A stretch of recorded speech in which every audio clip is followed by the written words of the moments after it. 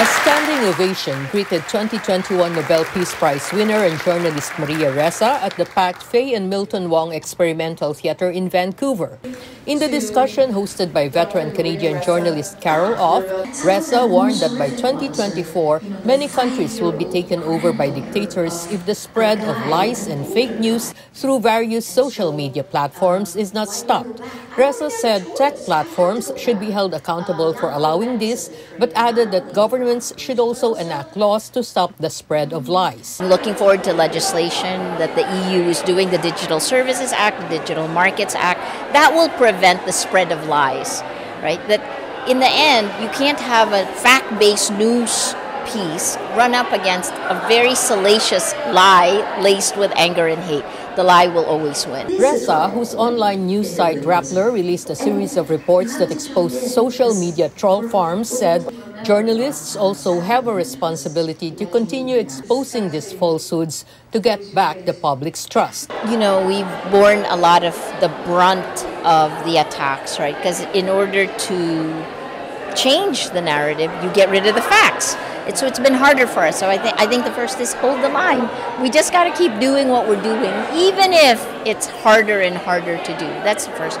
And then I think the second thing is we need to collaborate. CBC journalist Carol Off, who hosted the program, said she is alarmed at what Ressa has revealed in her forthcoming book, How to Stand Up to a Dictator. She documents it very well what the threat is from the social media tech companies how they're manipulating information, how they're, how they're exploiting propaganda to make profit, and how dangerous that is. Meanwhile, University of British Columbia professor Leonora Angeles said Ressa has made her proud to be a Filipino. She agreed with Ressa's observation that the world is under siege and faces real danger if nothing is done to uphold facts. We are in great trouble if we don't have that shared reality based on truth, based on facts. And if we don't have that shared reality, um, how can we even frame the problems that we are facing now properly? Ressa has been hailed internationally for continuing her investigative work despite the threats and charges filed against her by the Duterte administration. Award-winning radio journalist Andrea Crossan, who has worked for the BBC and CBC, said Ressa is an inspiration to journalists everywhere. I think for people who are journalists my age, but also for the next generation of journalists coming up, I think it's so powerful for, for people to see role models like her. The baton was passed me at a very bad time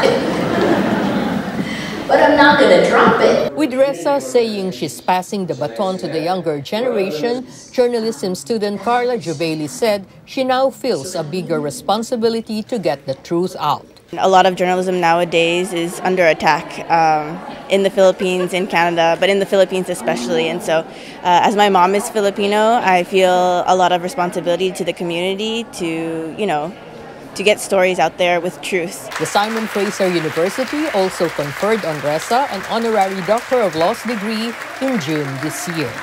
Rowena Papasin, ABS-CBN News, Vancouver.